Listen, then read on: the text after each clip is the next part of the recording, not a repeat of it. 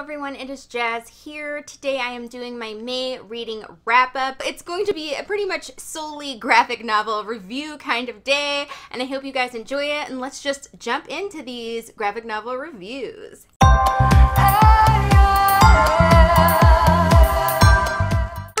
That I completed in the month of May was the ninth book in the Sandman graphic novel series by Neil Gaiman entitled The Kindly Ones. Basically, there is a woman who we met in an earlier graphic novel, and she believes that Dream, the main character of our story, has stolen her baby, and she enlists the Furies, aka the Kindly Ones, to enact some fury. I really enjoyed the plot of this one. This is the first one where a lot of the plots that have been brought forth in the other graphic novels leading up to this start to kind of merge and characters from all those different things start to merge. You get to re-see some characters that you haven't maybe seen for a while or actually see how they kind of came to play in the overall arc of the story. This one also explores a lot of cool concepts in an interesting way things about life and death and you know the meaning of story. Of course the whole series though is kind of about the celebration of story and the meaning behind what story can mean to each, in, each individual. So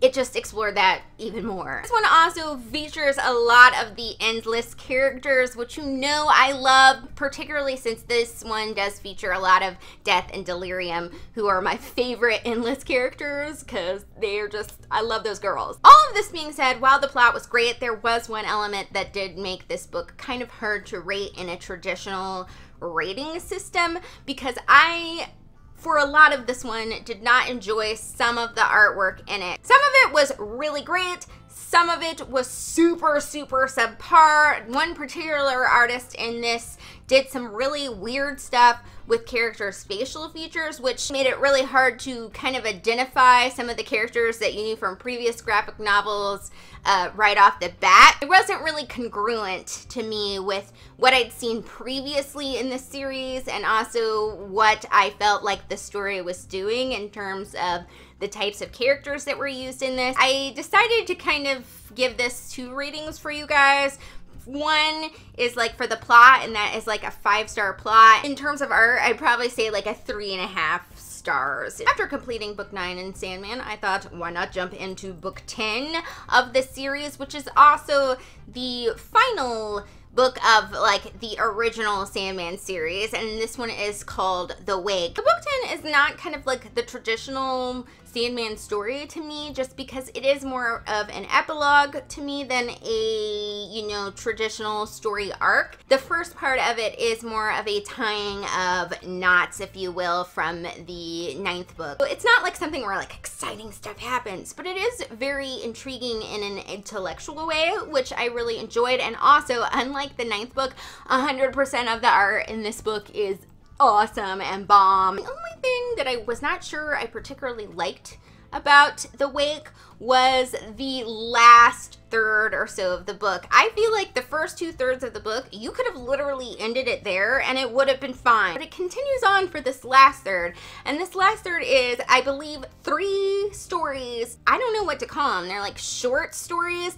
And two of them center around characters, or I guess in the case of Shakespeare, real people that have been introduced previously that were like super minor characters. And then there's one that kind of revolves about around this guy that's traveling through the desert of dream. The one about the minor character and the one about Shakespeare were kind of interesting, and I particularly like the Shakespeare one that centers around him writing his final play, which was The Tempest, and I found that really cool. The one with the guy in the desert, I really didn't like that one. It was so, so, so incredibly boring. It had like a concept that was interesting, but I think we really could have done without that one. That last third, I'm like, did we really need that? But at the same time, I was like, we kind of needed it. So it was, I was iffy on that last bit. So in the end, I decided to give this book four and a half stars. I still think it's a really solid end to a series, and I do get why those stories were there. I didn't dock more than half a star because I get it. It's just that one was not my cup of tea. After Sandman, I was still in a super graphic novel mode, but I kind of wanted to read a graphic novel that wasn't gonna like explode my mind and make me think about every concept in the universe like Sandman does. So I wanted something kind of simple and fun. And I also ended up deciding to try the 30 day free trial on the Comixology Unlimited. Basically, they have like a library of graphic novels and comics that you can borrow, and you only have to pay, I think, $5.99 a month. So I was trying the free trial of that, and I thought, since I'm doing that, I might try some comics that I've maybe never heard of, and maybe I wouldn't have tried if I had to like pay for them full price. And I decided to read a graphic novel called Alex and Ada Volume 1. This book is set in the future where like crazy technology exists, AI technology exists, and it centers around a young man named Alex. And basically, the last thing he wants for his birthday is an AI robot girl, but his grandma thinks you need one of these, and she gets him this AI robot girl. And he kind of slowly discovers that there's more to the AI world and more to their sentience and intelligence than he expected.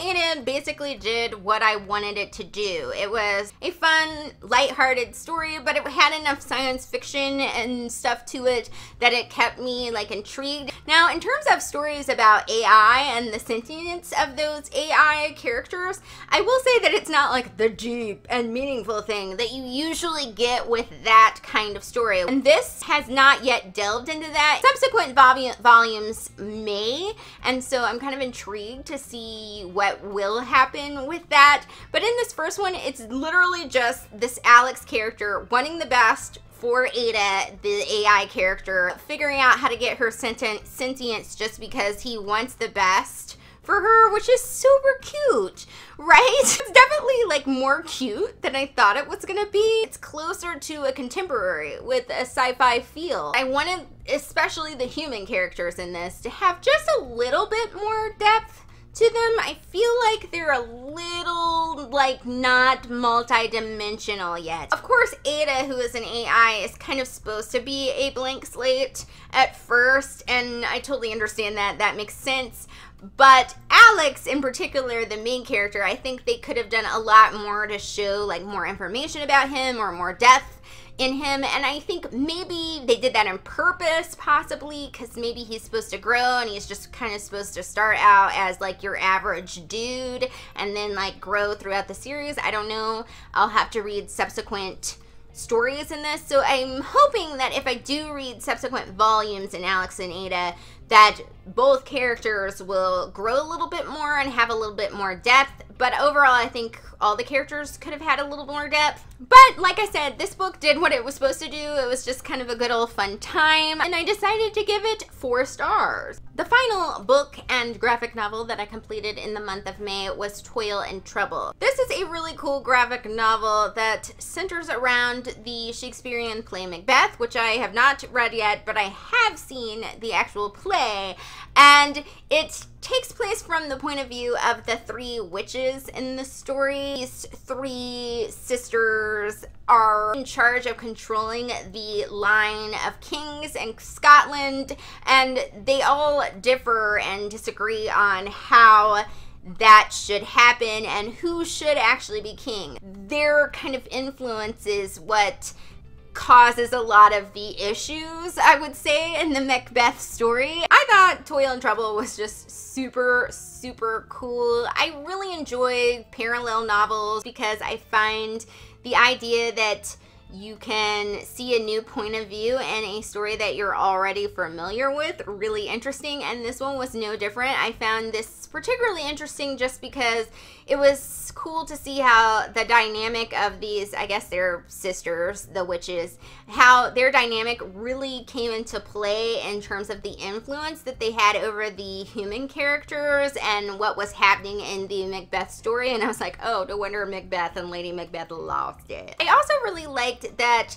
the witch characters had like powers that you didn't think of when you maybe read the play or have watched the play control over certain elements and could change themselves into animals. They had like some elements of almost Fae characters that you've seen, and that was a really cool thing to see in the story because artistically it made it really nice to look at and read and the art in this is just flipping beautiful. The coloring is great and they have some flashback elements in there which they really handled artistically well. In terms of like the stuff that the skills that these characters had really looked nice as well as really serving the story and being a cool kind of different element that I wouldn't have thought would be part of a Macbeth story. I also really like that not only does this explore like, a different point of view of the Macbeth story, but it also explores some things that happened before Macbeth that when I like saw the play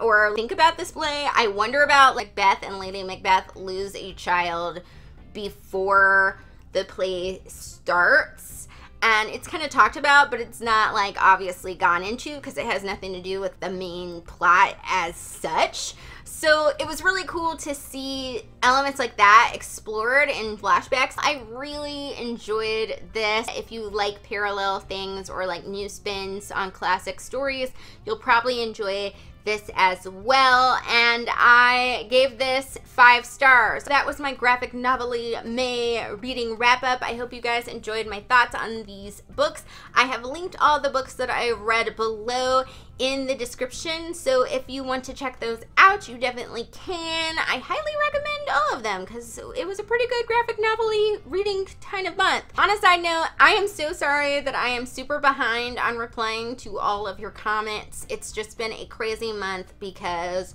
work was kind of crazy. I teach at a dance studio and all the shows came up in one week and I was like directing two musicals and helping out with dance shows and other musicals and my mom had a show so it was like a five show like week in one week. And so I didn't get to answer all of your comments but I promise I will get to as many of them as I can or all of them. Don't think I've forgotten you. I will get to it. Now after this video, I am going to do something different with my to be read. So I'm not going to have a traditional to be read video, but I do have some really super cool videos coming up and I have like a cool vlog that I'm going to start editing soon. And of course there will be the vote for the book excerpt that I will read for the month. So you have all that stuff to look forward to. And that is it for today, my fabulous peeps. Thank you for watching. Bye!